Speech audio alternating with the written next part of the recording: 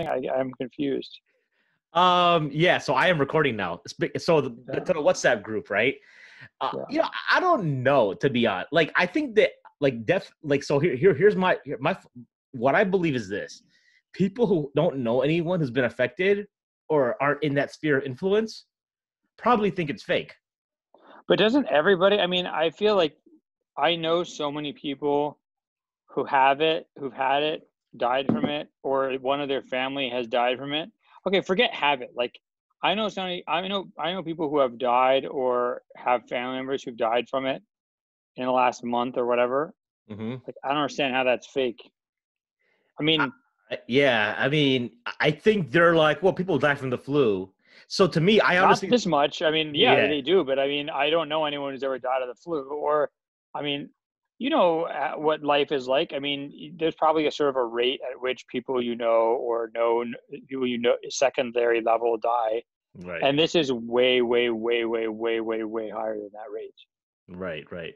Um, I should, I should give you a formal introduction, by the way. Uh, first time on this channel, gentlemen, ladies and gentlemen, this is Dr. Jonathan Brown from Georgetown University. He is not a health expert. he is a professor of Islamic studies, right? But uh, you, I, you seems that you you you you you got a lot of you got multiple interests. Movie critic as well, which I think we'll get into later. Um, you always have you always have like really nice movie references. And I'm well, like, that's man, nice to know. I'm glad. To, I'm glad to know somebody appreciates that. you know, maybe you and Omer Mozaffar could start your own movie podcast during this quarantine. Yeah, you know, we he and I were in graduate school together. Actually, I think we were in some of the same classes together. Yeah, I was in a um. So yesterday I was doing uh he, he teaches like Quran like at three o'clock Central Time every every day during Ramadan like kind of like tafsir. So I'm in this class yesterday like do he's we're doing Surah Al-Baqarah, and I get a text from Tanzan from Boys in a Cave, and he's like, "Hey, I need an I need an emergency co-host right now because my co-host isn't waking up because they they record in Australia after Fajr." So Mhm. uh, I know you were on their show not too long ago, so I had to jump on and dip out of his class and. But no, but yeah, is his co-host the this the the white guy, the Yeah. Guy, Yep, yep. Raphael, yep. Or something? Raphael. Raphael. Raphael, Raphael, yeah. So uh, we had this guy named Aamer Rahman. He's a uh, comedian, a Bengali Oh, I love Aamer Rahman. That's he was on there. Oh, you're so lucky. Yeah. Such a funny guy. Um, yeah, so it was all because we're all Bengali. All three of us are Bengalis. So like, yeah, we uh hashed it out for like two hours. No, Aamer is I mean legitimately funny. I mean, he's not like even Muslim funny. He's like you know world class funny. In I actually, opinion. I actually have not like, because I'm not mentioning the comedy scene. Uh, that is one on the bucket list probably in the next week or so to find out what he is. Because I was planning Just to. Google, just go on YouTube and do Yeah. do Aamer Rahman, and do uh, Osa- Osama bin Laden. Oh yeah, okay. It's really funny. I mean, he's I actually use his comedy comedy bits in my classes Mm, sometimes. okay. Students really like it. Like they, I did his, I used one of his things in my my day, like my Islamic world class day on kind of terrorism and stuff. We sure. use some of his comedy. He's a very funny guy. Right. Yeah. So um yeah. So it's kind of it's kind of been the life these days. Just waking up at like one p.m., two p.m. Then get my kid going on her homework. She wakes up around the same time. Everyone's staying up for suhoor. Pretty much all three kids. You know, Right. it's funny. I'm trying to uh like I've been pushing for that. So I I had this whole grand like approach where I was like, look. I told my wife, I was like, look, this is like the one Ramadan where we can just like we can all do whatever we want. Like we can all just stay up all night and read Quran or watch movies or eat or whatever. Like we can just have like it's like a f- totally free Ramadan, you know? Yeah. and she was like no and that was it and the kids like they wake they they they, they wake up at like normal time so it's rough and they Well, come in like one of them like Yeah. because I, can't sleep after fajr like i can't just go back right i have to i'll be up for like a couple hours after fajr i just can't Right. sleep after fajr mm, so the like I pass out maybe like seven, eight a.m. and then I get woken up every day because like one of my kids will come in and be like uh, playing soccer with himself, or like with a ball, but he'll doing like his own announcements. He'll be like, you know, Benzema's going for the goal. Benzema Hmm. shoots. Benzema scores, and then like, he does like this sort of, and I that's what wakes me up every day now. Mm. No, so for for us, my wife, she- she's a physician, she's a gynecologist. So she's only going in right now for deliveries. So her hours even her pay didn't get cut, but her hours got cut as far as timing in the hospital. And she's always been like a night owl, right? Yeah. So my kids have always had like terrible sleep schedules. My in-laws live with me; they stay up all night, so the kids will Mm. just hang out with them. And Is your wife uh, Bengali origin? she is, yeah, yeah. So uh, Cool. they basically have this. Um, only there's only a couple days when my wife had to go to work like eight in the morning, and she was like, "The kids are awake." I'm like, "Yeah, no kidding. Like they're not gonna mm-hmm. all of a sudden just go to sleep." you know, Yeah. you can't flip their schedule like that. Like I'd like to get them on a normal sleep schedule. Like my, you know, it, m- my kids are notorious for like even my daughter during normal times, like on a school night, will go to bed at midnight and wake up at seven thirty mm-hmm. to go to first grade. right? Yeah. I mean, uh, Kids are weird, man. They, they, I, my kids just wake up so early. It doesn't matter what happens. They'll wake up at like seven Right. a.m. yeah, I, I, I couldn't handle that. I'd be like, you know, what's going on? But anyways, um, I don't know if you know too much about this channel. Um, so like Sultans and Sneakers is a channel I started back in September. Um, Because you I- like sneakers. It is, you know, I wasn't. I, I all I know I wanted to do at the time was like I wanted to do a channel that wasn't just a Muslim channel. You understand what I'm saying? Um, because I it wouldn't it wouldn't have made sense because like I was talking to Sid, like host the backstory is like you know I still host for Mad Mamluks. That's been going four years, um, but you know Sim wanted he recommended that I start my own channel as well to understand the whole pro, the the entire in, infrastructure of a podcast, just in case anything happens to him, someone else could step in and like run the channel, right? Because none of us knew anything else. We just knew how to show up to the studio and like talk, right? Um, and so when I talked to some people, and I was like, why why would I just do another Muslim channel? It's kind of redundant, you know. So what I try what I'm trying to do here is really try to understand people's like worldviews in Mm. gen and keep it as broad like now up front to be honest most of my contexts are still muslim i'm, I'm trying to break out into like more non-muslims even beyond religion get into like so for example a sneakerhead is a worldview being a sneakerhead. So that's why i kept the title kind of like that. Believing a sultanate for example might be like a worldview who knows? Or believing in a khilafah so to speak. Um be, being being a white supremacist a part of the kkk if i can get somebody on i'd be happy to engage pretty much anybody at this point. Um i just need to like do my homework and stuff and you know whatnot. But yeah that, that's kind of the premise of the show. I definitely don't I, I know people don't like to do conversion stories. I know yours is already available online so i don't like to re- rehash that stuff um but at the same time i try to understand like mindset um as people are going as as people grow through th- phases in life you understand what i'm saying Mm.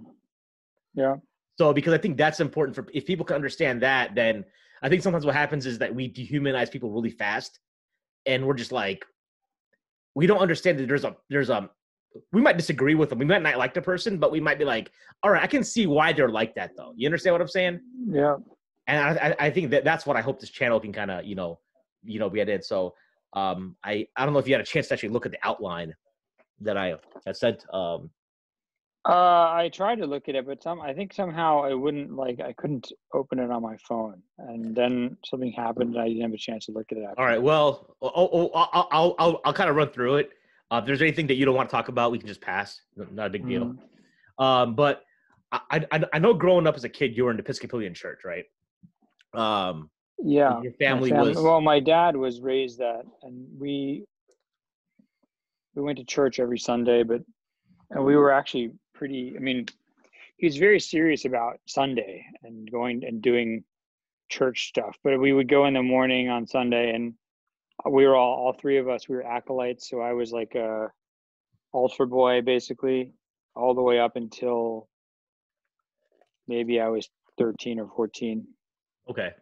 Um, and uh, but then the weird thing was like after you left church, then like religion had no role in life at all. Do you think it's almost like um, a part of the culture of being like an upper class white family that church well, I think it's those things? interesting, you know. So my dad, my dad's story is pretty, uh, and I, I actually only found out a lot about this after he died. I didn't find out a lot about this until after he died.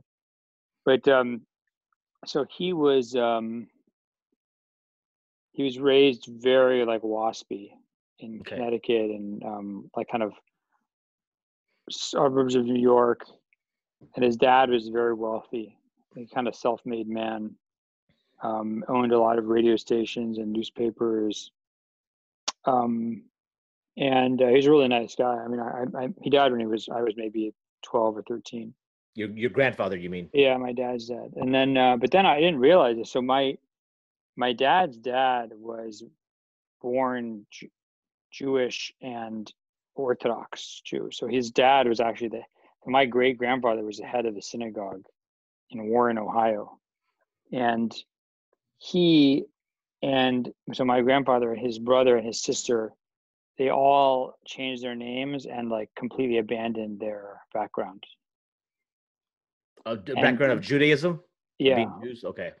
yeah, and then they, um, my grandfather married a Christian woman who was my mother, grandmother Margot Cleveland.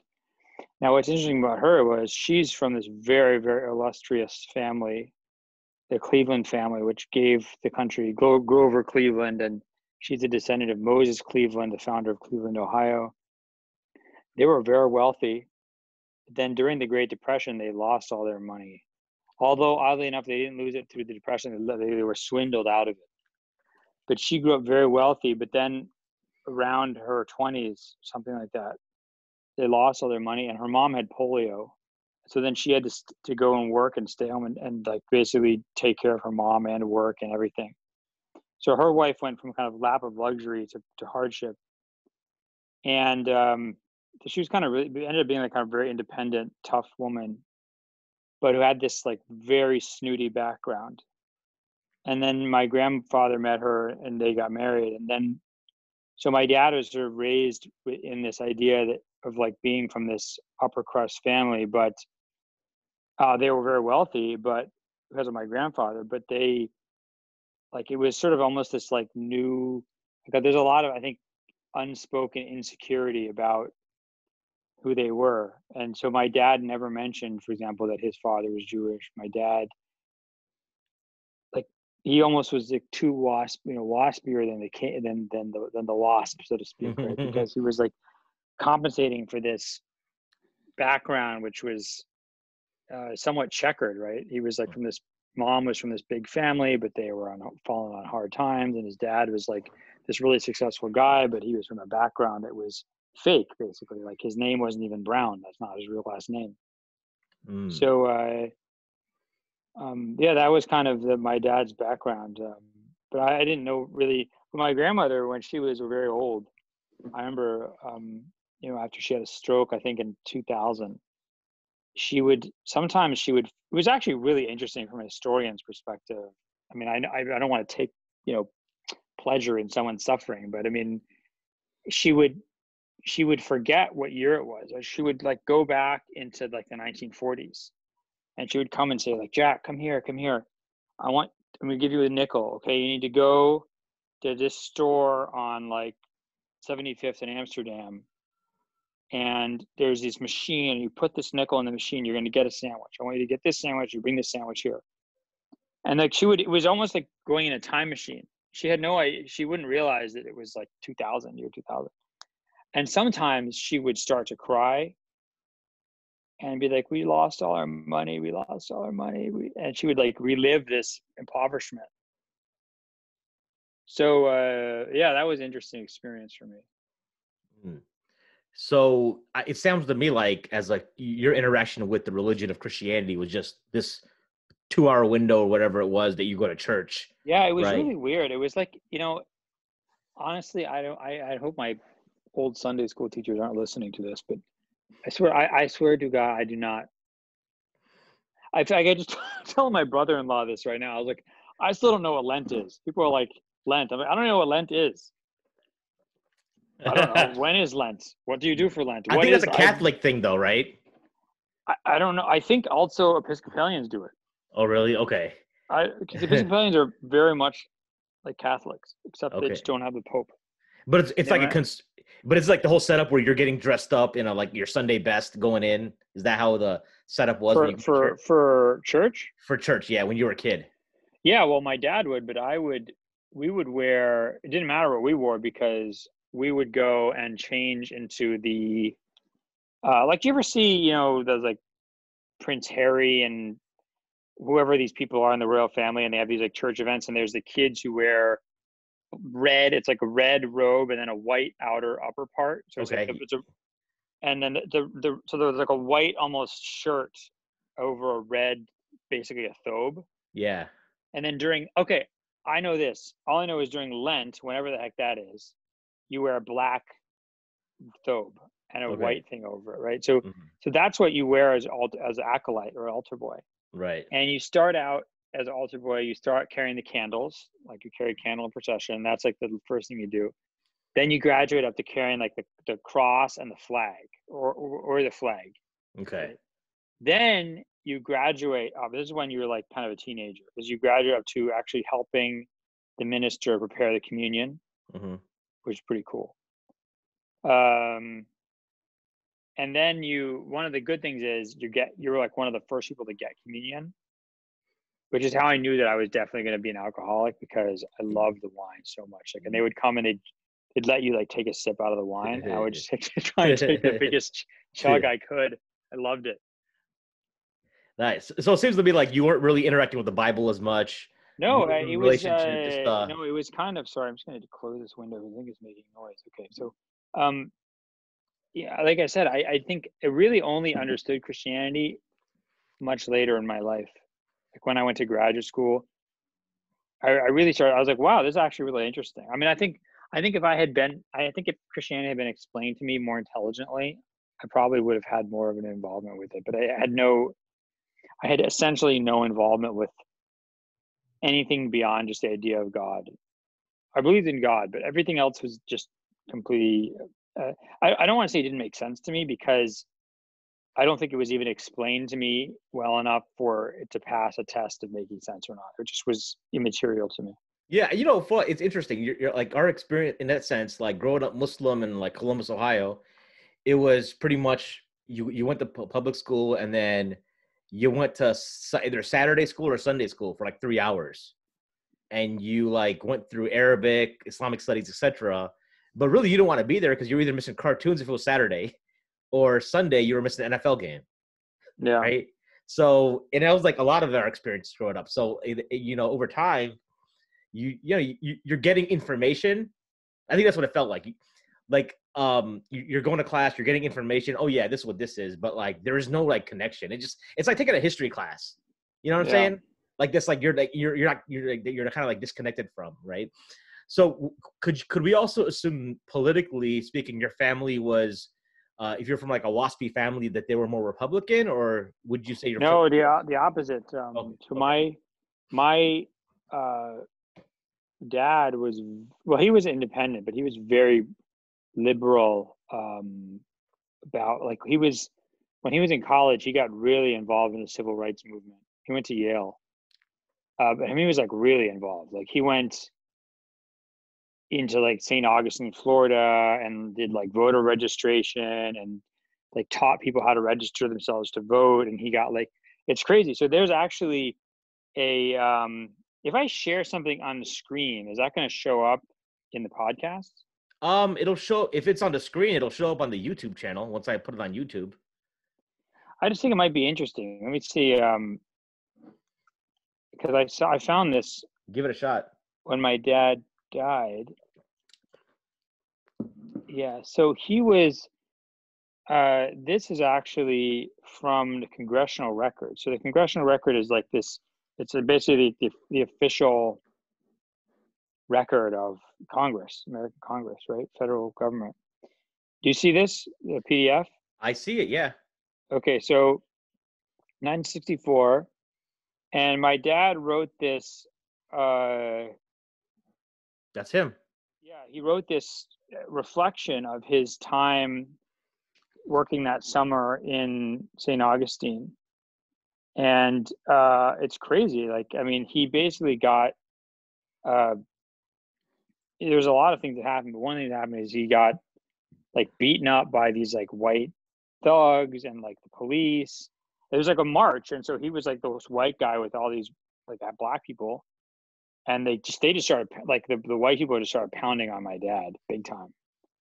Um, he got like sent to the hospital, and and then like when he was in the hospital, like Dr. King came and checked on him, and he was like a he was a teenager basically. It was not even. I mean, he was in um, he was in college. I mean, I don't know if he was a teenager, but he was basically like 19 to 20 years old. Sure, in the 60s. So yeah. he was really into, he was really committed to this. And uh, he was really also very anti Vietnam War. Uh, but my grandfather was pro Vietnam War. My, my, my dad is very anti Vietnam War. And um, he was really active on, in that group at Yale with this guy who's pretty famous name, like Reverend William Sloane Coffin, I think was his name, if I'm not mistaken. And uh, so my dad was like to the like when I became Muslim, like he was always really supportive of that. Um, he was so in a way, one way he was very open minded. Okay. Um, and I remember when, you know, I I wanted to get married to my wife. My wife's father had been through a lot of like he basically been persecuted by the U.S. government, like after 9/11, for being Palestinian activist. I mean, he was like the the kind of test case for a lot of these like Patriot Act energy, not not necessarily the specific laws, but like that kind of idea of going after Muslims like this. Right. Um, and so my wife's name had really become like toxic. I mean, it was, I mean, for her and her family, like they couldn't get jobs, and uh, I mean that really only changed kind of maybe a little bit like under Obama, but really only under Trump. Like when suddenly being Muslim and like being edgy and hmm. like being Kendall Jenner and giving like Pepsis to cops and stuff like became kind of cool. Like then hmm. suddenly it's like, oh, like resistance is cool. Before that, I mean, um, so when I remember I I I, cause I, I wanted to get married to her and I kind of basically had this phone call with my dad and I was like, look, I was basically saying like I want to marry somebody who's like there's going to be some baggage you know? Like it's going to mm-hmm. be it's not going to be like some random white person. And uh, i remember always remember i mean i had a lot of issues with my dad like i could sit around and criticize my dad to, for a couple hours don't get me wrong. Um, but one thing i will always have a huge amount of respect for him for is he said i asked him if it was okay and he said if i said if you didn't he said if you didn't marry her because of this i would never talk to you again Wow. Which was like pretty. I mean, I, that was really principled. You know, I have to yeah. really say I respect that a lot. Um, so he, there were certain things that like, he was very, who was, who was really principled, and and that, you know, let's just say like liberal in you know mm. in a mm. kind of good sense about. Uh, and there are other things about him that were very. Uh, I think a lot of things that people today talk about as like white privilege. I think that my dad um yeah i think for some of my dad's generation i actually i think a lot when you know people talk about like sheikh hamza yusuf and their kind of criticisms about hamza yusuf i see a lot i see a lot in like similarity with my father with sheikh hamza yusuf i feel i think they're they're all they're some similar generation um and it's uh I, I think a lot of white people from that generation, you know, kind of upper middle class, upper educated white people, they're just they have certain blinders about the world that it's just hard for them to to get around. Like my dad would, you know, he worked his whole career in development. Like he worked almost his whole career at the World Bank. He went to Harvard Business School and went to he went to work for the World Bank, and his whole life he was committed to helping poor people. I mean, that was I remember when I went to live in Egypt after college I remember talking to my dad once on the phone. I was like, "It's just people are so poor here. I, I don't, I don't even know how to deal with it. It like makes me so, I don't, I can't even do. I don't know how to deal with it. You know." Mm-hmm. And I said, "How you've traveled to all these places in the world? How do you deal with it?" He said, "That's why I went to work for the World Bank. Like he, he was in the Peace Corps in Chad in like the 1960s to avoid going to Vietnam, et cetera, et cetera. But like that experience of you know encountering poverty motivated him his whole career to work in development um, now, he also happened to go work for the World Bank, where they paid him like half a million dollars a year, and he had yeah. you know like the the best healthcare package you can imagine. So I mean, it's not like he suffered in his life. Sure. Uh, but you know, so he, he was like a very committed. Per, I mean, if you said anything around my dad that was racist, like if you said something like that, someone who had this color skin should be treated different than that color skin, like he would. That was like the only thing that would get you beat like that that he would just his eyes would go red mm. but there were so many other things i remember my dad saying that people today would just be like, "That's the most racist thing I've ever heard." Like, but he because he was just like, for him, it was like obvious that there were certain cultures that were backward Yeah. and needed to change, and there were other cultures that were good. Like, and he had no problem with that that value judgment. Mm-hmm. Um, and I think that made him, in a way, uh, gave him certain biases. Uh, but in, in actually, in a lot of ways, I think it was more, it was less about race and more about class. I think my dad was, I think there's a, I think a lot of people in America, in addition to being racist, but I think there's a lot of class classism too. You know, Mm-hmm. um, and you can see that with, you know, the way people talk about Trump voters. You can see it the way people talk about, um, you know, in the context of like COVID nineteen and uh, people's reactions to that. Um, so I guess the whole way, this is a long way of saying that you know he was a he was a really a very wonderful and principled and courageous guy, but he was also a product of his time and his place, and that I think always was going to uh, create blinders for him. Yeah. Like for example, he loved Ronald Reagan. My dad loved Ronald Reagan, Okay. and if you sat and said like, "Well, Ronald Reagan has this problem, that problem, this problem," like I remember I I got in one of the first conversations I had with my father-in-law. I went to like my wife's house when I was I can't remember if we were married already, if I was like trying to court her or something. Yeah. She didn't really like me that much, so I went the parents route. Like I went like you know win over the parents, which is like of course the the, the actually worked. No, no, I was like, I was like, wow, like I was, why didn't someone tell me that was not the route you should take? So, but I remember, I can't remember. I think I told, I just sort of said what my dad said. I was like, oh yeah, I love Ronald Reagan, and my my father-in-law, was- he really let me have it. I mean, he sat down and like talked to me for about two hours about it. By the end of it, I was like, wow, yeah, Ronald Reagan was terrible. But I mean, my- dad, like, I don't know if he, if you, if he had had that conversation with my father-in-law, I don't know how he would have responded. Um, Mm. anyway, but so he was a bundle of contradictions. As But but you know it- it's interesting. You Ray, Reagan's an interesting example because you, I think you- you might be a year or two older than me. I think, but we were probably we grew up. We remember the '80s. You remember as a kid Reagan being president, right? Oh yeah, definitely. Yeah. You know what I mean? I remember my dad was a grad student at Purdue University, and Reagan was visiting for, and we used to live off the strip um, from the off the airport. The air, you know, student housing was. I remember his mo- motorcade coming through, and you know, I've all and growing up, probably up until the last few years, I've always like thought Ronald Reagan was a great guy. I never really understood like what the you know, and then you hear about other things that you you, start learning more things as you get older, but um I mean, because at the end of the day, I think you're looking at like, oh, well, my life's good. Things are things are great. You remember happy times. He was the president, right? There's Yeah. no war going on. Maybe the Cold War, but um, Yeah, I mean, if you're like someone living in Nicaragua or something, you know, or Yeah. some or Beirut or a lot of other places, right? Your your experience is different. But um, I mean, one thing, yeah. So my dad, I mean, when, Reagan died, my dad actually went and like stood by like the side. You know, they had his motor casket or whatever went down Yeah. the street, and my dad like went and stood in in the parade and mm. like gave salams to Ronald Reagan as, he, as his body went by or whatever. yeah, Um, but the but then another thing is, this I think I don't know if this came necessarily from more from my mom, but my mom taught me like she always taught me to look to consider different points of view with, with complete openness, right? So don't ever like don't ever uh always look through at things from different perspectives and accept accept the possibility of looking at things from other perspectives.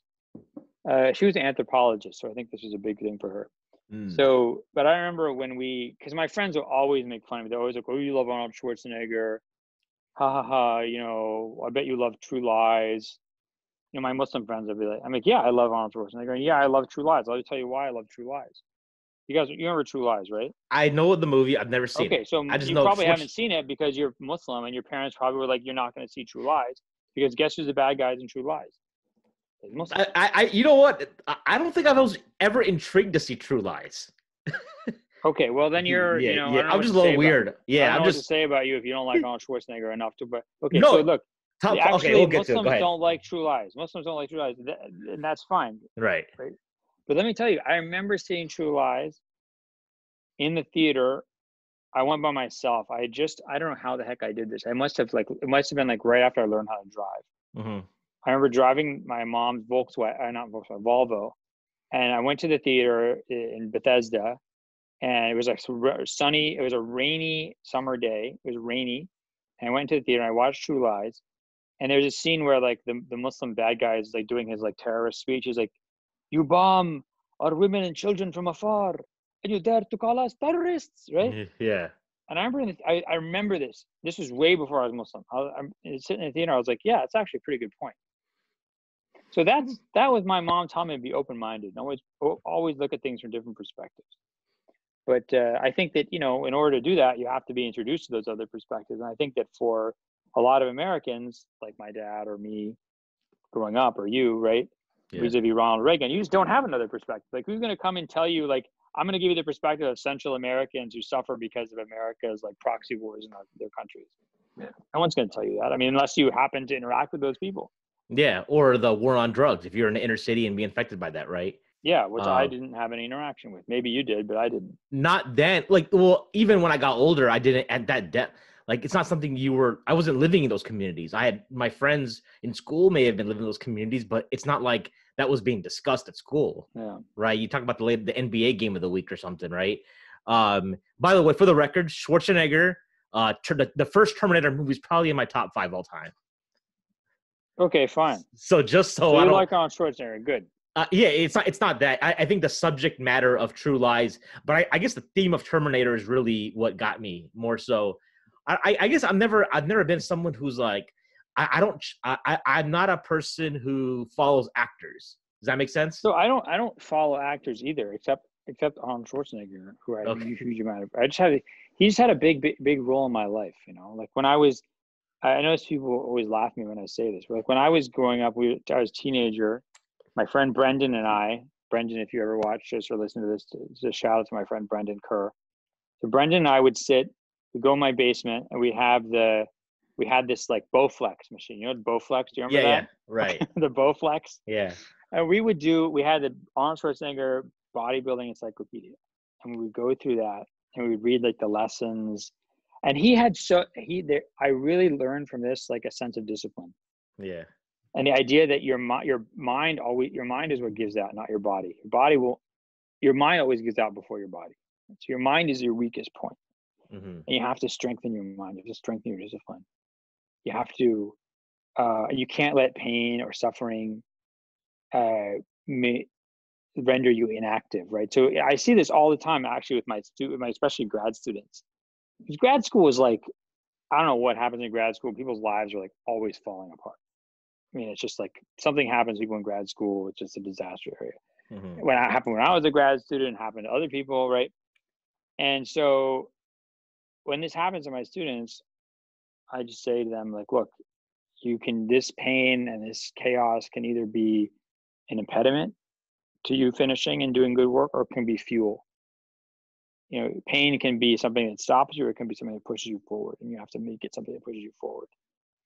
And so that really I learned from this um, that that time in my life and uh it's just as i reflect on my um reflect more on life as i get older i I think that that sense of discipline was really crucial for for anything to the extent that i've contributed to my accomplishments that was Right. a big part of it i think Now, were you were you allowed to watch some of the Schwarzenegger movies as a kid? Like, oh yeah so my parents were oh my god i don't know i actually like can't believe the stuff they let, let us watch do you see Total Recall as a kid? of course i saw total that's not even that's not even i'm ta- okay did you ever see a movie called revenge of the nerds Uh, no, I have not. I've heard of it. okay Yeah. So Revenge of the Nerds has full frontal female nudity, Okay. like multiple times. Okay. And that's just like that's just a visual. It's like the, the the content is matches that, right? Okay. My parents bought a Betamax machine in I don't know 1985, 1984. Let's just put it somewhere around that time. hmm They bought with it Revenge of the Nerds, Dark Crystal, Conan the Barbarian, Witness, and I can't remember what else. Okay, On the Porky's. So my, yeah, basically like so. You know, my my sisters and I watched. My sisters, who are by the way two and four years younger than me, Okay. watched Revenge of the Nerds. So let's say it came out in 1984. I was probably seven or eight years old when I. saw- I'm going to say seven when I watched that movie, and I didn't just watch it once. I watched it so many times that my sisters and I memorized the movie. And there's this one dance scene in the movie, like a musical number they do. if you, if any of you have seen Revenge of the Nerds, you know this. It's a talent skit, a talent show and competition at the end of the movie. My sisters and I did a performance of this in my grandparents' house. And I, to this day, I know the whole, all the words to these songs. And my parents just didn't care. Like, I, so I cannot tell you. And also, Conan the Barbarian is not a uh, rated PG or G movie. Uh, Okay. if- If you've ever seen it, it's a great Arnold Schwarzenegger movie. I don't know if you you I, obviously yeah, no, I, I know he did. He did that. mo- Okay, did, it's did an iteration movie. of it. So- yeah.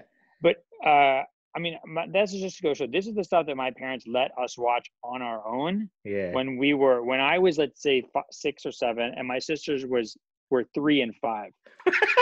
so I do not know what in God's name their reasoning was, and I remember like they would sometimes let us watch Miami Vice with them. hmm Did you ever see Miami Vice, the TV show? I mean, there was like I, I'm still traumatized. I, I think back on scenes I remember from that movie, John John. No, you know what? I because my my, from my, that from my that par- from that show. Yeah. yeah, my parents never like they always were strict like strict about. They never watched Miami Vice. My mom watched Dallas and Dynasty, the soap operas. I had to leave the room.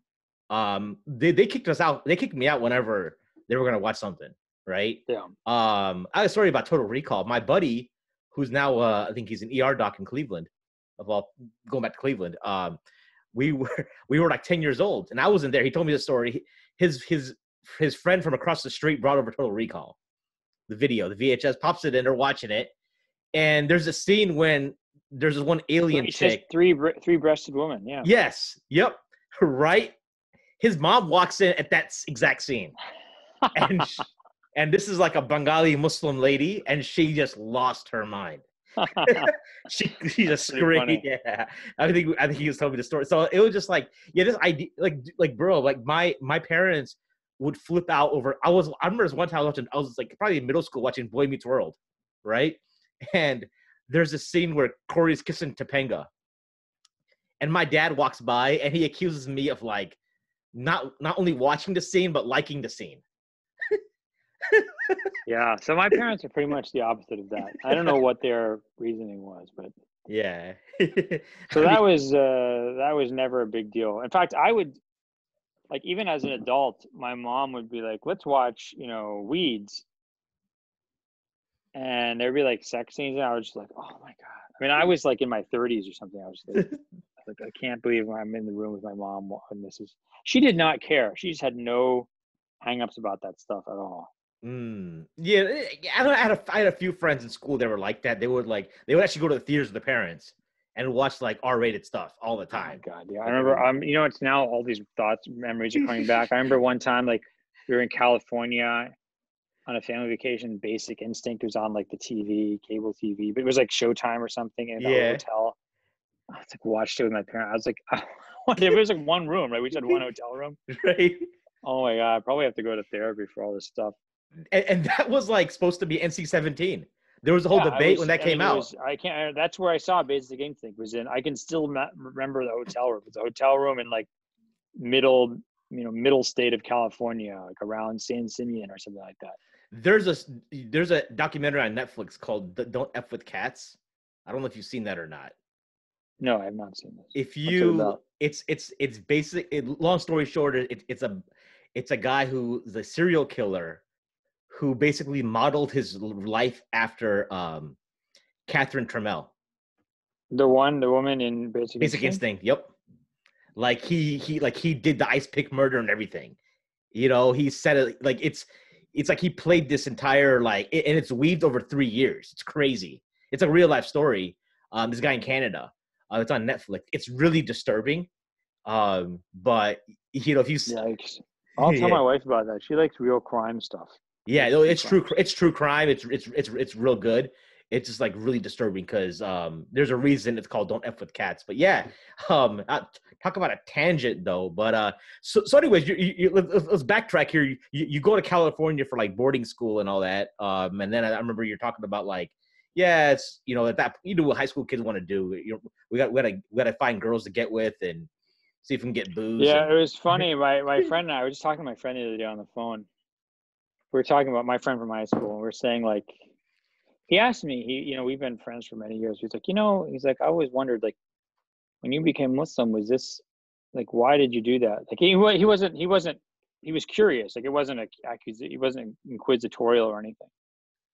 And he said, was that like a continuation of something in your life or was that a change and i said i was telling him i was like yeah don't you remember in, in high school i was so um, i was just so anxious. I was like overwhelmed by existential angst. I, I was like incapacitated you know by by by being unsure as to my meaning in the world and like what what was the meaning of life? What was the purpose of life if you could just your existence could be snuffed out so easily?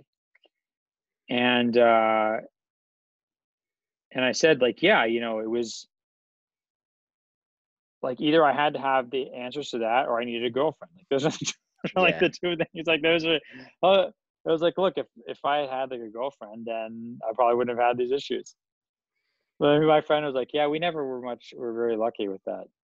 Um, but I mean, uh, so I think you know I wanted the same thing the other guys wanted, but at the same time, I think that uh, you know, I, I think I was maybe more thoughtful than a lot of people, or maybe just had more time to think and less other activities to distract me. Was it an all boys boarding school? No, it wasn't. It was co-ed, but um, but the girls had their own dorms. Okay. I mean, but there was a lot of chances to. Okay.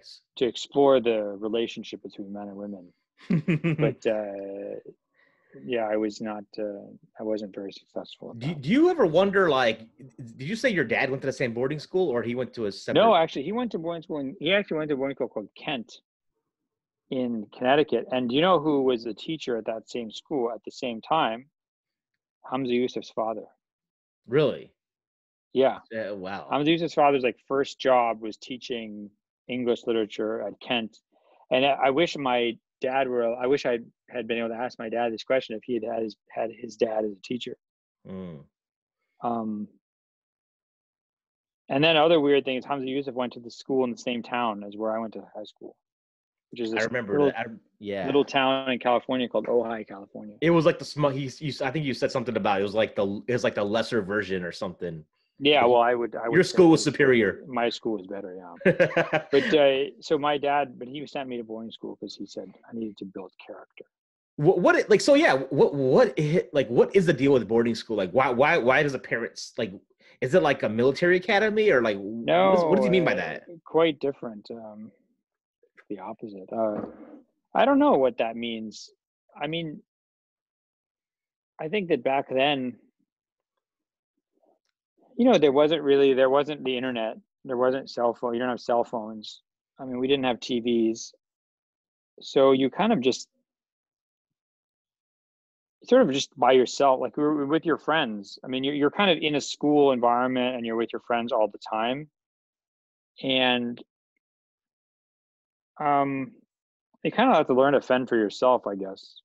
Mm. i mean you don't have a family to protect you and you don't have a refuge to go to so you kind of just make you know end up i mean i ended up having a lot of fun. I loved it.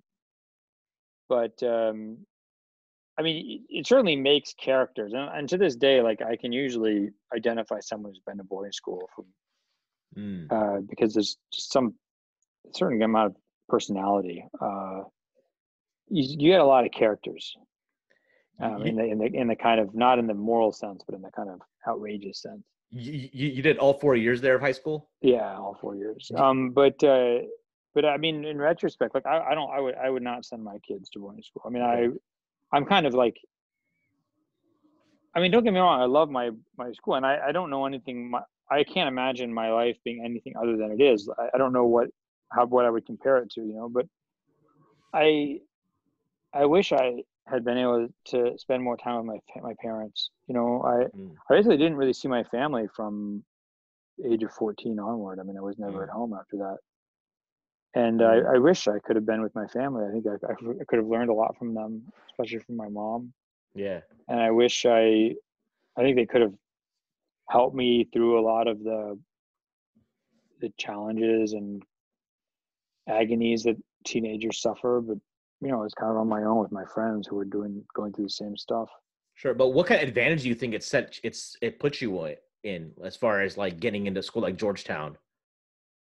For your I mean, it was a good school, so I mean, I had a very good education. But I, I think you could have had the same thing at a at a day school. But do you, do you think you would have like a lot of people have this perception that kids from boarding schools it's almost like sometimes they're feeder programs, right? Um, Yeah, but I think their feeder programs. I mean, I would just say private school, good private schools. I mean, a boarding school is just a good private. In theory, is a good private school, but you could have the same thing from a from a, a, a, non-boarding private school. mm, Uh, Yeah. I'd, I'd say that, uh, yeah, I mean, you just get like your personality gets really shaped by the school a lot more than, and actually shaped by your friends.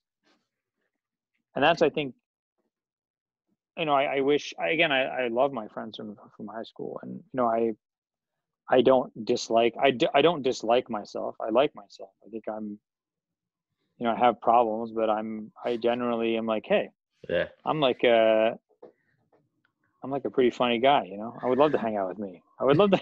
I mean, he's a really fun guy to hang out with, you know. So the, but, you know, I, I think that sometimes I wonder if if it would have been better if I had been with my family. Right. But at this point in time you're still hanging out with like all your friends are white. They're all white kids at the boarding school or is well, they're they're white or honorary whites. I mean, there's in California you have a you know sizable Asian population, so sort of a lot of them were okay. Chinese Americans, Japanese Americans, uh, Mm. but they were. Um, I mean, I had almost no. I mean, this is something that's kind of interesting. I really didn't interact with like African Americans until I became Muslim. Mm, My whole like in my whole life, really. yeah. I mean, I didn't really. I didn't interact with somebody who was not from my social class Yeah. until I became Muslim. Mm. So, so even like as you when your parents are you, you mentioned your dad had like had a more was like more of like a classical like well like a he politically liberal right were his were his friend circles were your the your parents friends were they kind of aligned in the same way of thinking or would- Yeah, well, I grew up in Washington D.C. I mean, Okay. so my dad's friends were a lot of them were in politics, in Mm. government, uh, or lawyers. They were very intelligent, and that to this day, I'll say this about Washington D.C. is it's a city, you know, the, the sort of D.C. area, is that it's uh, a it's a lot of very intelligent people with jobs that are not challenging enough for them. So you have a huge amount of excess, unused, and eager to be used brain power. Mm, okay Um, so you, I mean, I grew up around people who were very accomplished, very intelligent, very caring and loving. Um, you know, we had kind of a friend, a group of my family friends who we all spent time together, and I've dedicated some of my books to these folks. Um, some of like my godmother, uh, Julia Taft, to um, and uh, so I was really spoiled for love. I mean, I was I was lavished with love and attention, and concern and care, and I had lots of role models around me. Um, and I'd say that they were uh, not. I'd say they were they today they would be kind of. They would probably all be sort of center Democrats. Um, but back then, a lot of them were actually Republicans. But that Mhm. was kind of the same thing back then yeah right uh you know so um yeah i'd say that was but very high standards for for for performance you know you you, you had very high standards for what you were expected to accomplish Gotcha. So so so now at Georgetown, you, you take this class on Islam and you, you like it.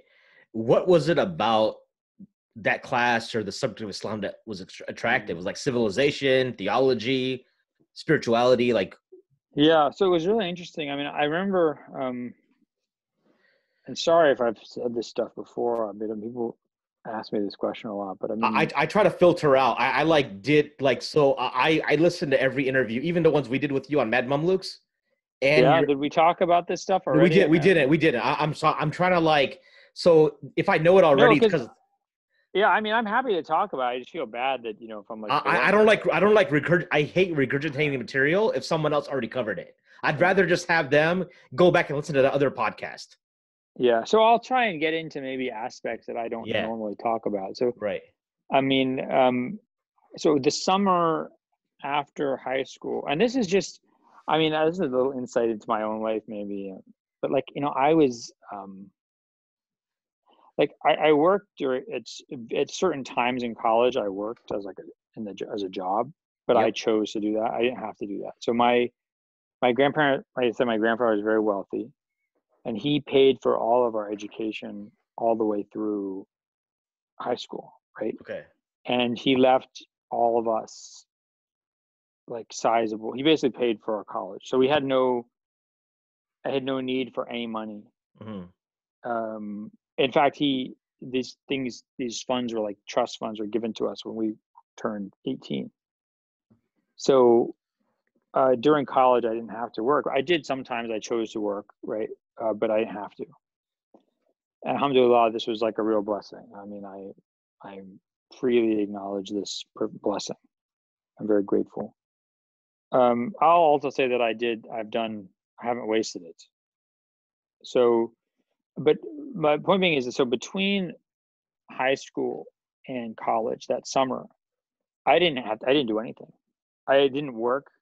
I i literally i don't know what i did that summer. I think i just drank and partied with my friends and pursued activities and uh but one thing i did do is i read into all of Sherlock Holmes mysteries.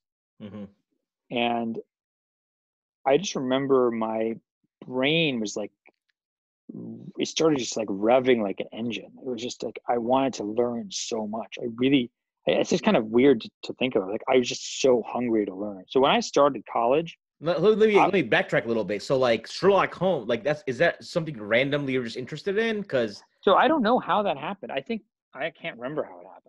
Uh, all I remember is I had this. I'd buy these like cheap cigars. God knows how my mom allowed me to do this stuff. I swear, my parents were so permissive. They were so their their attitude was. They never said this, but I knew this attitude. They were like, "You can do whatever you want in the house." They they were like, "We don't want you out of the house." That's very smart. We don't want you getting busted by the cops. We don't want drunk driving, right? You do whatever you want. Yeah. You want to bring your friends over, go into the basement, smoke this, drink that, do this, do that. No one, no one's gonna care.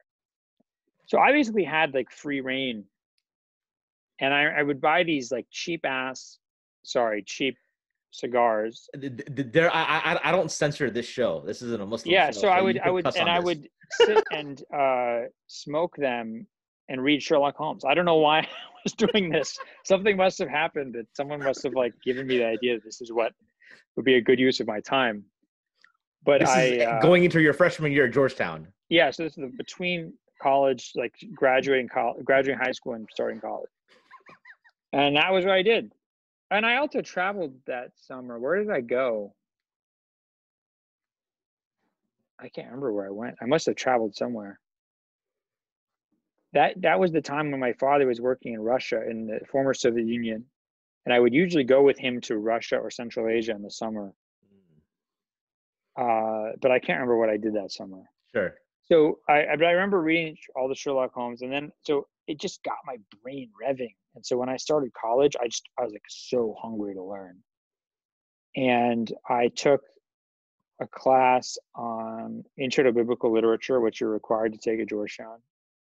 You either take Problem of God or Intro to Biblical Literature, and I remember being really interested in the Old Testament, but I was just like, this is not really for me. I just said this is not. I just um, this is not like what I believe in.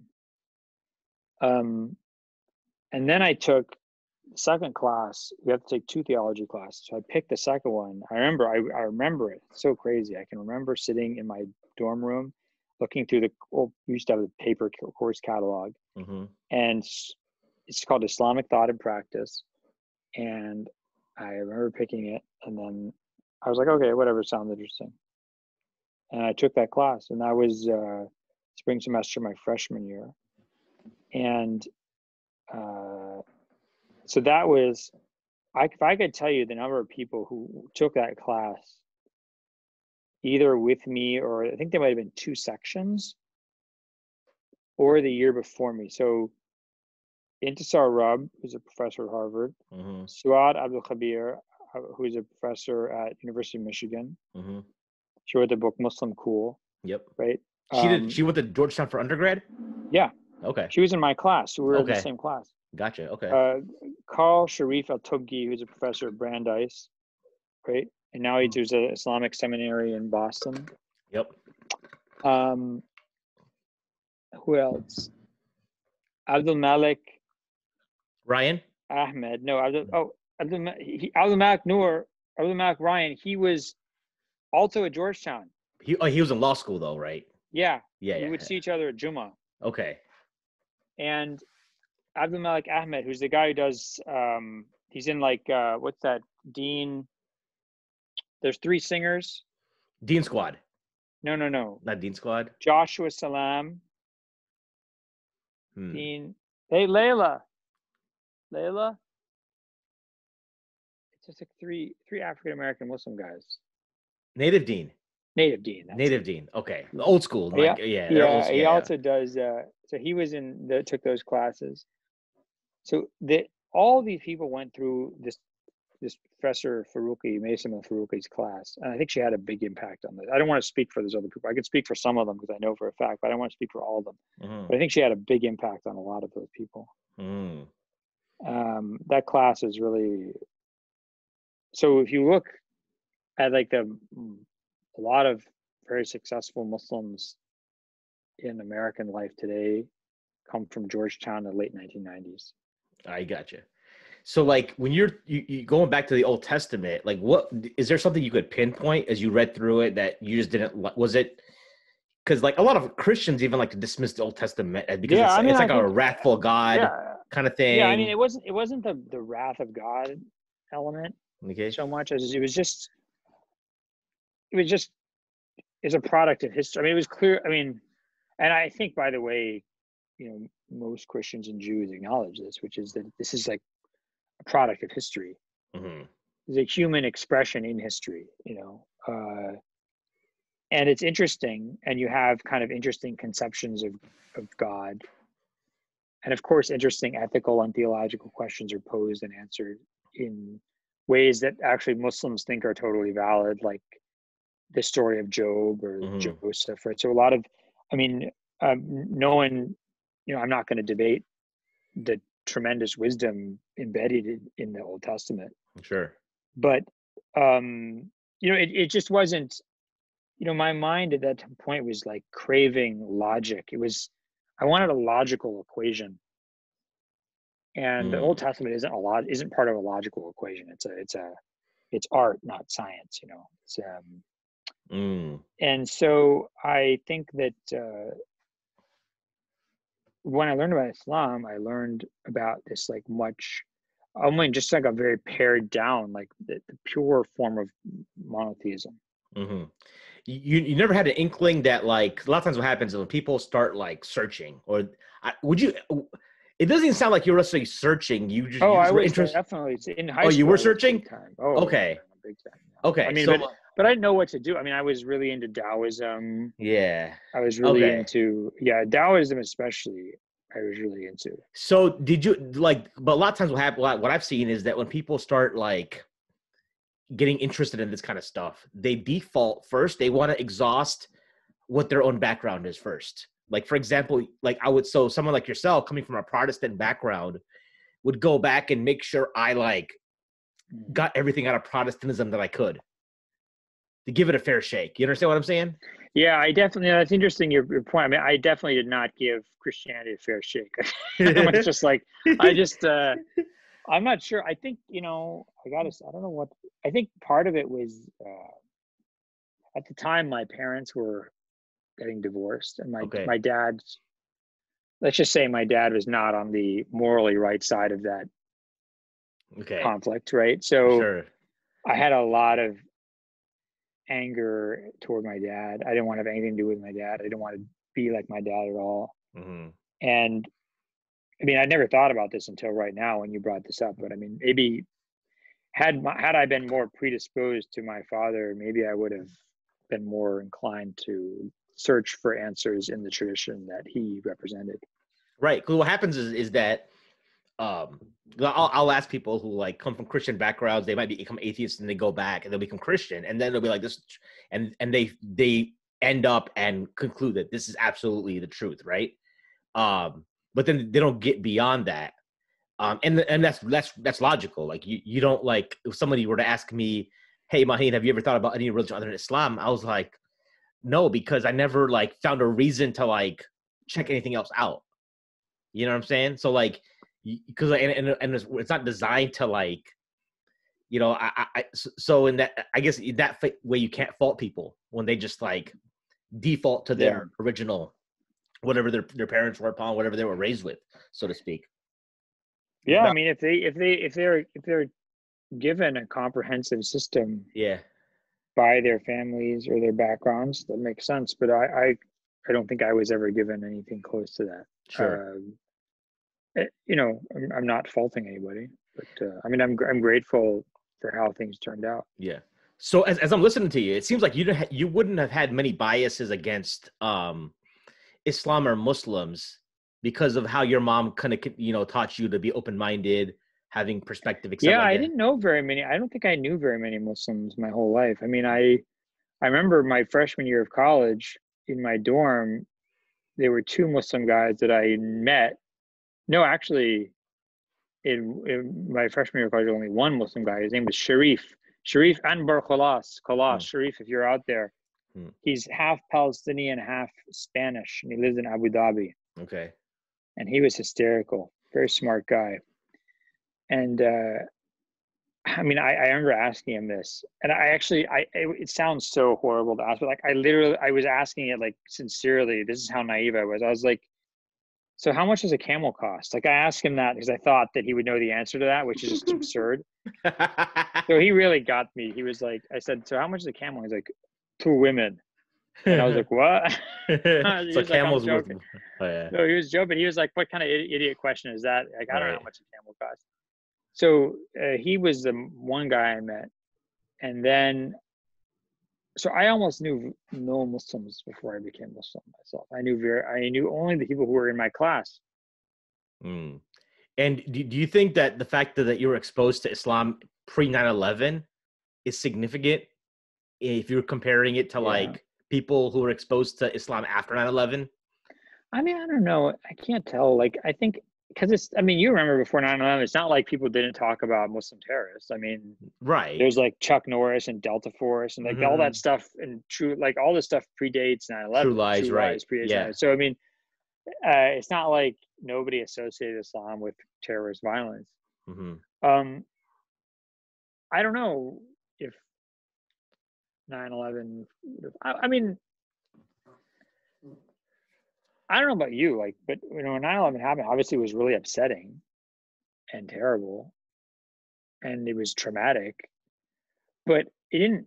It didn't shake my view about anything. Like, if anything, I remember thinking, I was like, I just was surprised it hadn't happened earlier. hmm I was- because I mean, when you're especially when you're a Muslim and you like, you you get opened up into like the world of people who are victims of American militarism. You know what I mean? You're like, yeah. You're like, you're like, I can't believe it. I can't believe no one does anything. You're like, Yeah. people are so nice to the U.S. Like Muslims Mhm. are so nice. They don't, they don't do anything. They don't like, you know, especially like I don't know, but like when I travel in the Muslim world, like people are, no one ever was like, oh, you're American. You know, your country's bad. Your country does bad stuff. Like we're mad at you.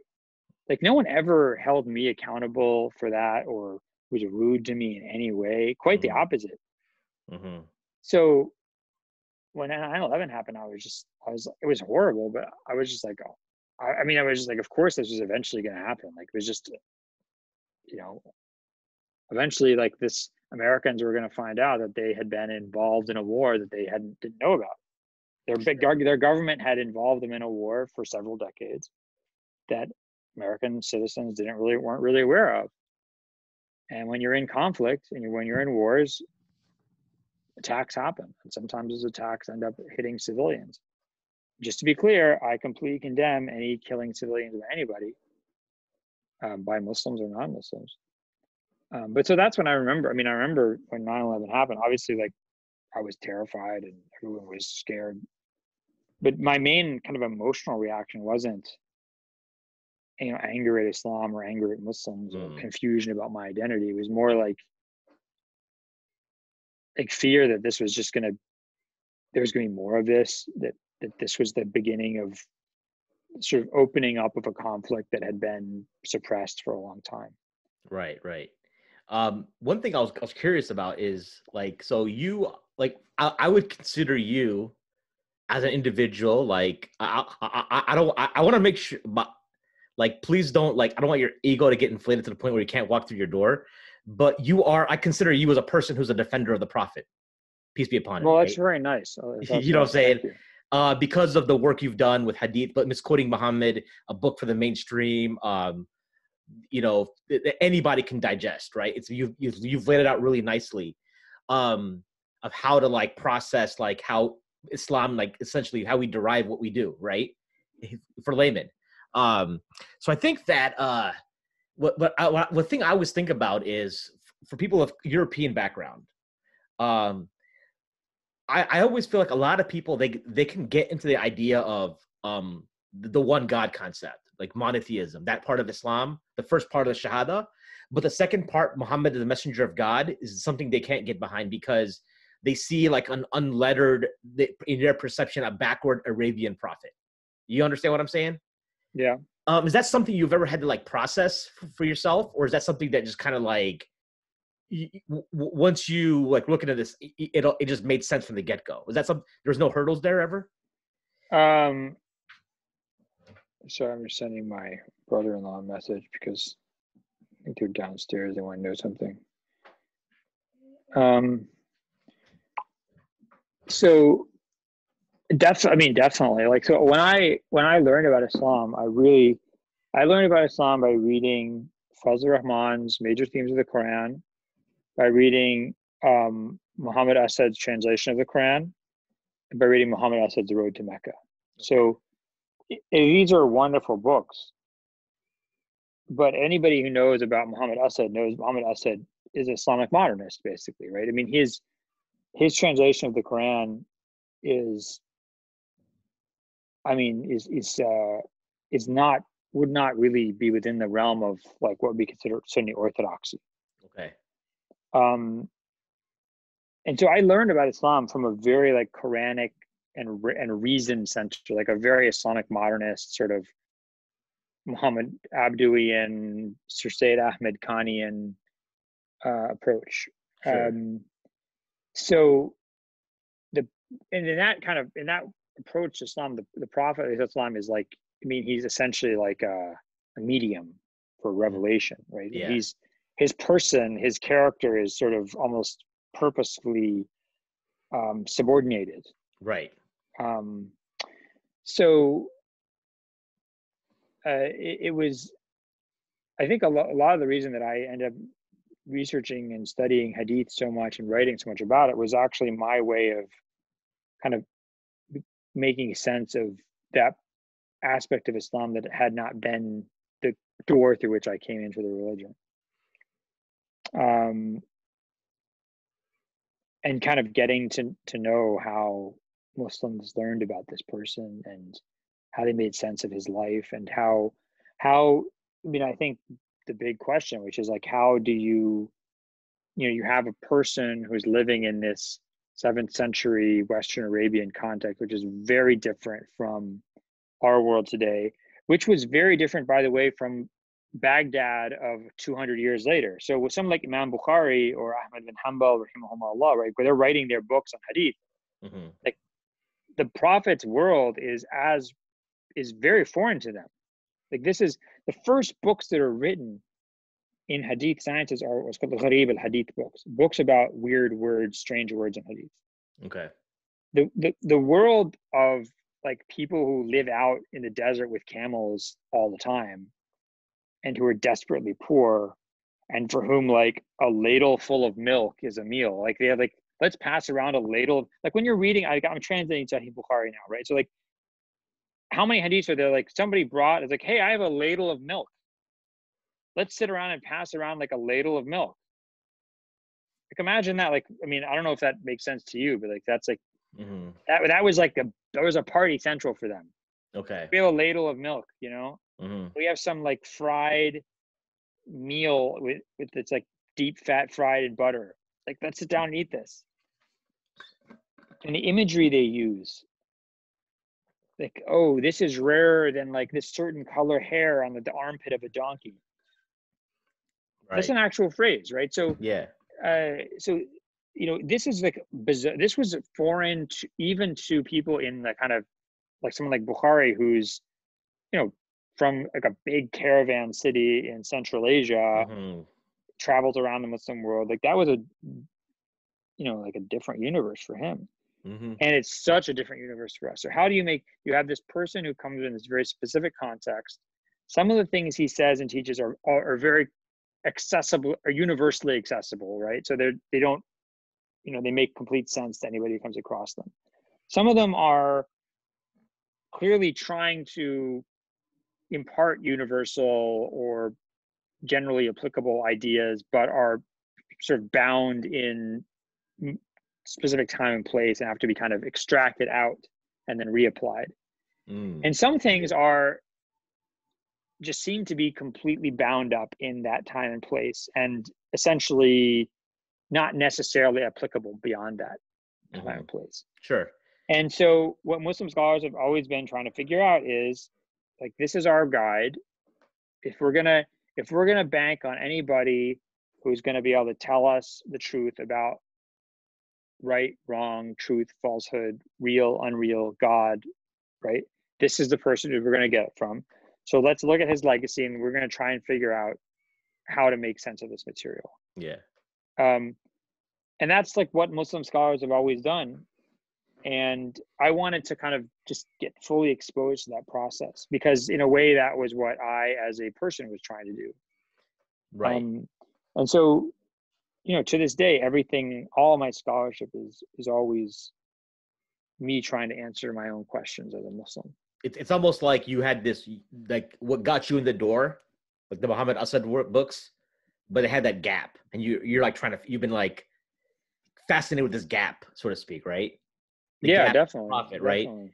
I actually really like the the of how people get in the door. I think is really um, interesting. So, you know, I was I was having a conversation with some friends like maybe like a year ago, and we are talking about like if someone's interested in Islam, like what do you what like, what books do you give them, right? And if you want to give them a Sira book, you know, people suggest like Martin Lings, for example, right? But the thing about Martin Lings, a lot of people say, well, he's a perennialist, right? So you you have that issue. Or but someone was like, why don't you give somebody a Karen Armstrong book? And she's not even Muslim. But like the point is, like she's able to artic like you, you got to be able to communicate that level. One of the the books that I got that when I was starting to get like more serious about my own religious pursuits was the works of Dr. Jeffrey Lang. Mhm. Remember the math professor at Kansas? yeah yeah yeah you know um just because and so and then you would have your like i remember the hardcore salafi brothers at, on campus would be like oh you should listen to him because you know x y and z right and um you kind of like but people at different stages i think need different things. You know what I'm yeah definitely. I mean definitely. I think um yeah that's why people i, I try to always you know we like at Yaqeen Institute we we have this discussion a lot you know about you know someone will say oh how can you have like an article that says this or that has this idea in it? Mhm. and my my attitude is like look you you have to you know you don't want to you want to have a, as broad a, a door as you can. I mean some things you are specific with right? Some things for certain audiences you want to be specific. But you know why why would you want to limit what you have to offer to people? You know why um you know i might have my own views about like visitation of graves or saints or you know tawassul tasawwuf or something but like there's so many people who become muslim through those things right? Mhm. and they um like why would i want to to to to deny that to people? Because you know you uh, so you always have to i think you always really have to to to to the the breadth of our tradition always has to be available to those who know nothing about it. Like we don't want to yeah. People's first exposure should be a broad exposure. Right. And I, you know i i can't you know and and this is another thing you know muslims like don't realize how some of the things they do can really affect people. Like when i was talking to this one brother i know he's a lawyer in the uk he does a lot of like human rights law and stuff and there's this really prominent lawyer british lawyer who became muslim and she was like she became muslim like see she said i watched the way you treat your wife. And that like really impressed me. And then you know this guy's a nice guy but it's not like he's you know he's not like the greatest husband in the universe as far as, as far as i know. He's probably just like a pretty you know like a normal decent muslim guy. Yeah. But he was this woman was so struck by the way he, he treated his wife that she like that opened her heart to islam so you never know what it is about islam or about being muslim or about our tradition that can really like strike a you know strum a chord in someone's heart. And you don't want to deny that stuff to them to people. yeah.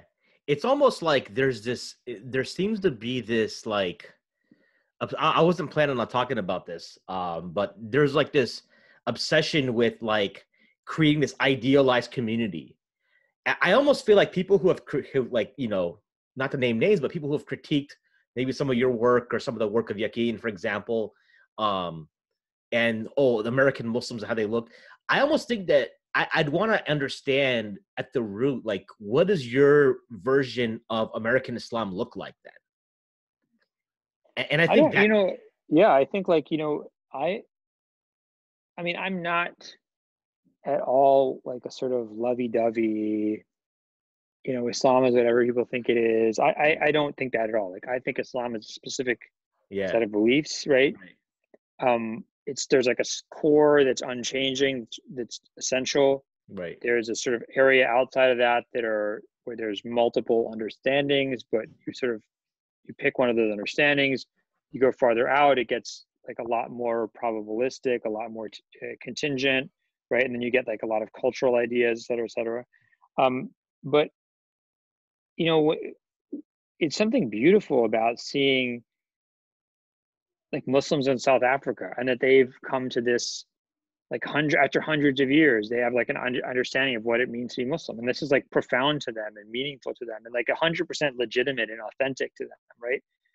And there might be things about that that I don't like or that someone else doesn't like, but you know, the fact that like they have someone, you know, that they have these like saints, these these like graves of saints around in the mountains around Cape Town. Yeah. And those were like former slaves who were part of the Cape Malay community and like were you know ulama and saints and buried there. And they're like these people protect us. Like we go to these places. These people we venerate these people. And you know I don't like visiting graves of saints but I visited those graves. I loved it. Like you know and I was like I was like this is so beautiful. You know this is really and you kind of have to be open to the fact that people experience Islam in different ways and that those ways are actually totally authentic you know? Um, even if they involve things that i intellectually might not agree with. Yeah. So uh, you know i think when people try and people were kind of down on american islam right they're sort of trying to prevent american muslims from doing that and to the extent that they are trying to prevent i think sort of fatal slides into atheism or uh, fatal compromises, I, I agree with them. And I would be one of those people who argue mm-hmm. not to do those things, right? Right. But there's so many other things where, you know, like, come on, you know, give people a, like, you have to let people, you have to let a community create a sense of normalcy and a comfortable existence as believers. Yeah. And if you just constantly um, sort of shaking that and, and destabilizing that, what are you going to do? Like, it's not like, look, if you're if you're if you're a Muslim in the U.S., you're going to get like a big door prize if you leave Islam. Like, anybody who if you leave, just go leave us Islam. You could make a ton of money right now. You could make a ton of money. Just go. Be like, I renounce Islam. I'm going to tell you all about the horrible stuff that happens in the mosque. I'm going to tell you about my dad and my mom. There's sexual abuse, this, the women that, the like, whatever this. Mhm. You know, you could go make a ton of money, huge amount of money. And you could go on the speaking circuit. You could be like son of Hamas, number five or whatever. Sure. Former suicide And- bomber. Yeah, so like you you know and, and you and there's like and you don't even have to that's just the most egregious version, but you could Yeah. just like imagine the social love you get by stop I'm gonna stop being different. I'm gonna be like you guys all want me to be. You're gonna get love bombed.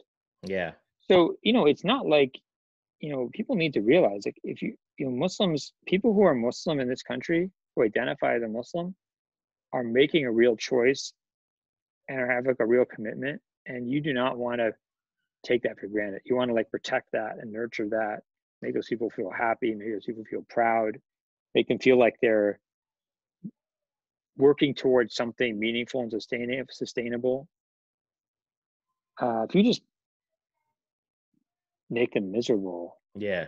I'm not sure what what hope one has. But but but so I so I think that people need to like almost because some of these some of these people that are some of the disputes that are people that are throwing shade at stuff they're like so they'll nitpick someone's someone's allegiance with so and so group right.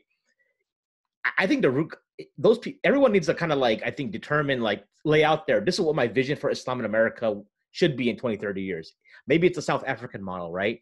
If it's that okay, maybe some people it's the Khilafah whatever that means and like at least be honest about it and then at least you know when we're at a standstill okay you know we're not to get beyond this because you're because those khilafah folks would still not respect the south african model right they'd be like well it's well yeah they don't have Mm. a full you know whatever um like at least we know what we're working with because right now it seems like there's people are getting hung up on all these details like so and so affiliated with this person and this person i'm like well Yeah. there's benefit in some of this. We, we uh, I was doing an Instagram live the other day, uh, off the cuff, and we were we were talking about one of these activist folks, and I was like, listen, I disagree with some of her points, right? But she might be right.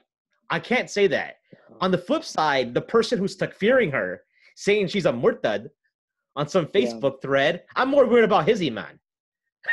You know, I think one of the problems is that is that a lot of these American Muslim debates are about what people are worried is implied by someone's position, or maybe what everybody knows is implied by someone's position. So, I think one of the problems is that because um, discussions about Islam in America are so well, first they're securitized, right? So, you know, you can't we can't talk about like the caliphate because then the FBI is going to start listening in onto us, right? Or like, you know, right, we can't start, we can't, you know, you can't talk about politics because that's dangerous, right? So, um, and we can't really talk about like gender or sexuality because this stuff is toxic for a whole nother, you know, you get takfired in another way in society for, for talking about these things, right?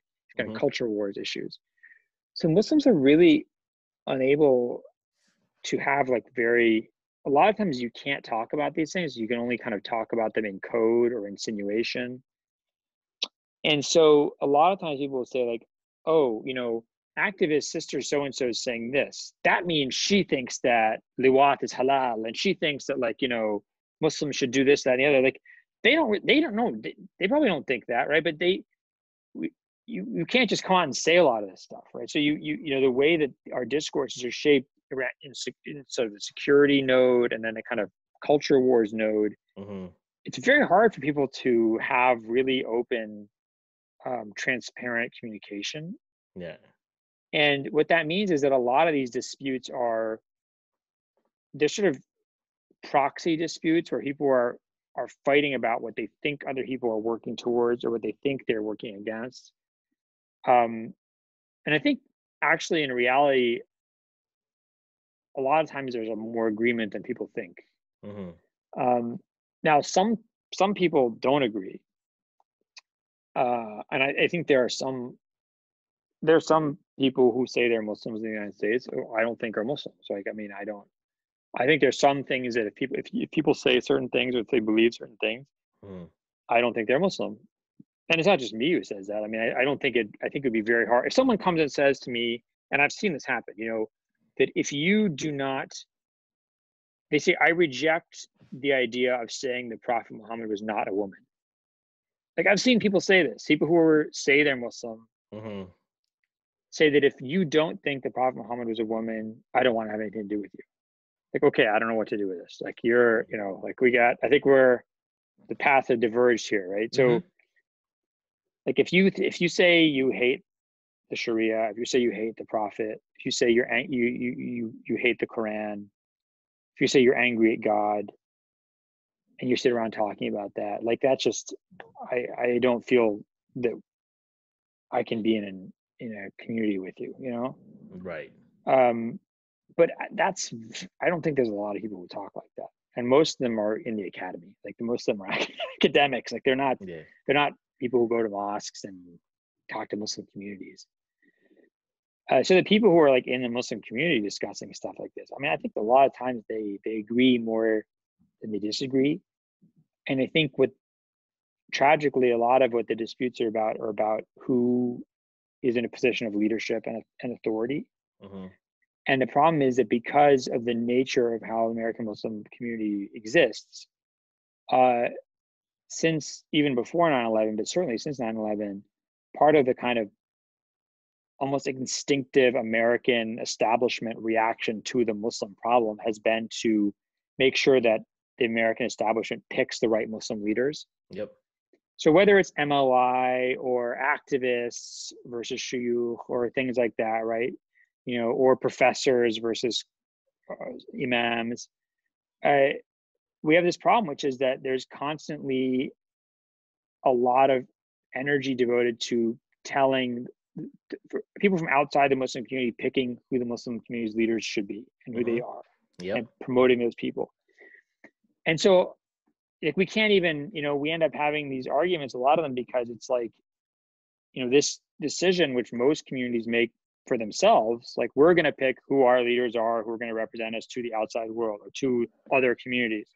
Like we don't get to have those discussions in a in a kind of protected way or in a, in a, in a coherent way. Yeah. So a lot of this is like, you know, I'm angry at activist so and so because activist so and so shouldn't be the person who's leading us or who has this voice, but they do. And why don't I? Because I'm an imam and I studied here and I studied there and I'm on the street or whatever. And so you have these, um, you know, I think you get the idea. But I, Yeah. so but I- I that like- person may have like cultivated a relationship over the past 20 years that you didn't know about. yeah, And that's Or, why they know- the exposure, right? That's Yeah. why they have the connection to so and so, right? Um, you know what I'm saying? Or it- or by the way like you know you have there's a difference right there's a difference and this is why i think for me like the mli issue was such a big deal was Uh-huh. that this was a very transparent open instance of people who did not have the best interests of muslims or the best interests of any kind of moral principle in mind Mhm. And they were transparently saying we're going to pick who the muslim leaders are and we're going to groom them and we're going to put them in place. And you can't allow that. Muslims can't you know we can't allow that to happen. Sure. we that that's too that's this is egregious. But if you have like you know but if there are you know activists or people in politics who who are muslim who come up through the ranks of those activities then instead of seeing that as a problem you know we should see that as as those people as as assets in our community right? And you know you don't have to agree with them all the time but you have to have relationships with them. You have to have good you have to be able to cooperate with them. You have to have common commonalities and explore your commonalities with them. But because there's this fear that um, behind every person interacting with the greater american community there's the threat of the loss of our of our religion um, you people can't do that some people can't do that with any sense of ease and everything becomes combat I I, th- I think that's a little overblown to be on to be frank. The the idea of like oh because of X Y and Z activist tweeting about LGBT and ex mashayikh saying nothing about it in two generations we're all going to be disbelievers. So I, you know, I agree with you, right? But I, look, but okay, one sense, the reason why people have that response, it's not because they're irrational. They're not doing that because they're hateful people, right? So right. if you go, you know, we all know, we can all point to people in our lives who are having serious crises of faith around exactly like an like some kind of LGBT issue. Sure. Right. I mean, mm-hmm. so you know, to say that this this type of question is there's something about it that on which people's faith turns and in, and which can be a kind of eliminating factor for muslim in this country right? So like that's that's actually a completely accurate perception. Mm-hmm. but how you respond to that is the problem right? So do you do you sort of panic about that? Do you you know insist on these like strident assertions at all times and places that you reject this and that? Right you know or do you know are you more like strategic? Are you more um kind of um uh less like less like combative about it right? So yeah. you know yes like muslims have to muslims have to have to come up with a good approaches to deal with questions like that question. Right. But just because we have to have that answer and we have to take it seriously doesn't necessarily mean that that means that anytime somebody says something you don't like, everybody has to get in a row and come out and say something against it, right? So that's just not um that's just not true. And it's it not only is not true, it's just not it's not strategically intelligent.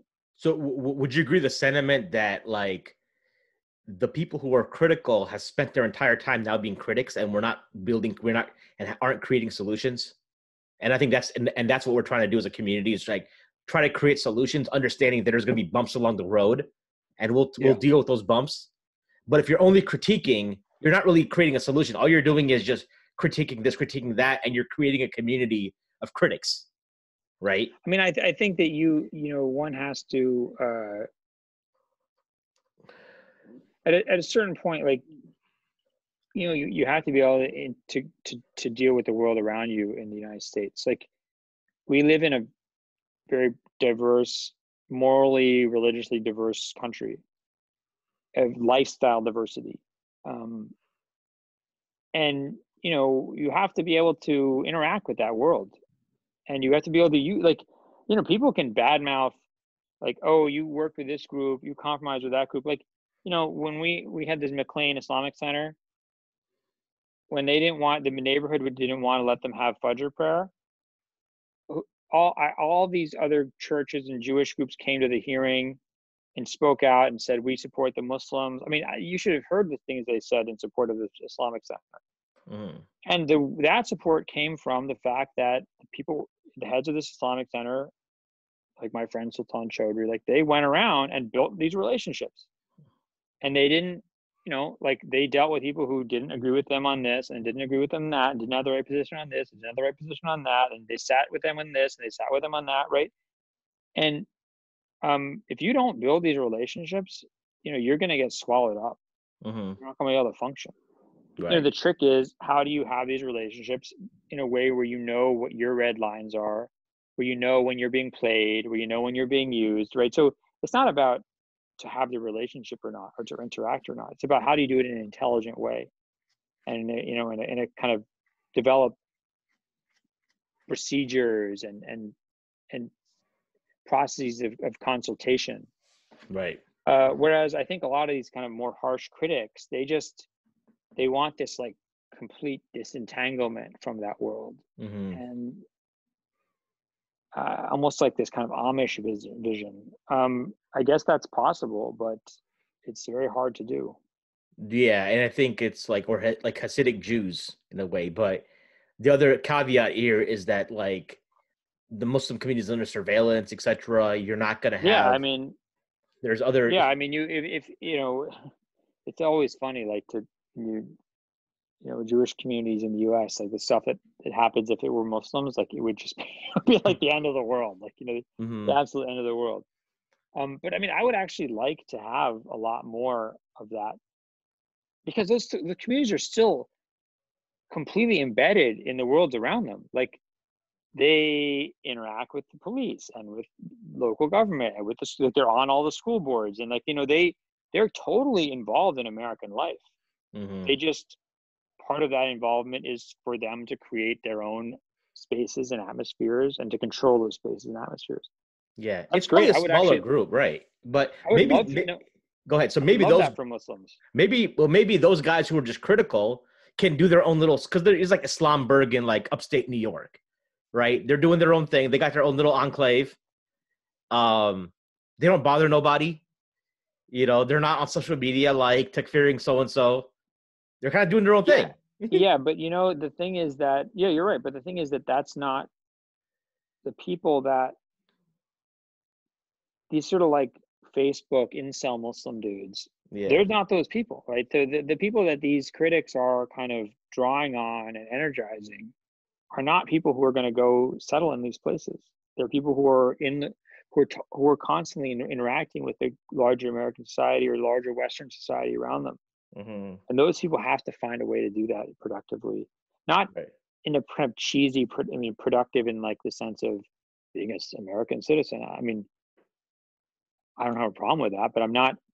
I'm not saying that's the standard. What I'm saying is that they they're not doing it in a way that's productive for them as people, for them as believers, for them as like useful servants of God.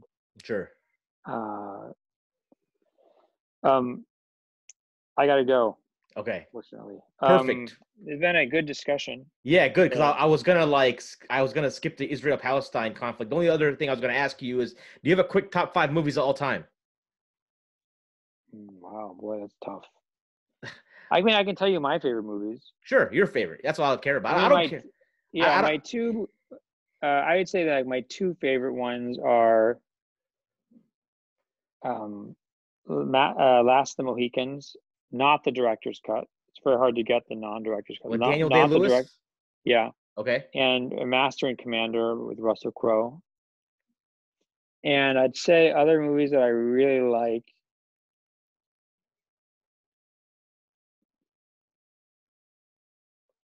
Boy, These are movies that you just would watch all over. Like you don't. Ha- it, it doesn't have to be okay, like. I'll, you know what? I I can't. I could uh, beyond that. I'm gonna go with movies that I will. If it's on, I'll watch it. yeah, that's that. That's Okay. my standard kind of thing, right? Uh, any of the first three Star Wars, Okay.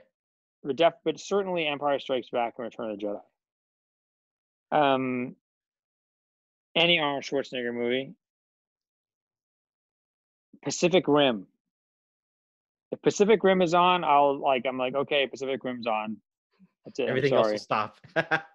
yeah. Uh, Die Hard, Big Trouble in Little China, um, Ghostbusters. Um, so the- these are movies you probably watched when you were a kid, like literally in the eighties. Some of these. yeah, right? well, not not not Pacific Rim. Okay. Uh, oh, The Man from Uncle, the new one, the Guy Ritchie movie. Okay. Uh, I'm waiting for you to say some movie that I actually like have like actually care about, other than the Schwarzenegger one Terminator movie, right, or Terminator Two. I don't know what movies. What movies would Um, you um, say? um, my, my my movies of like the movies I I really enjoy. Are, okay, so Terminator, Varsity Blues.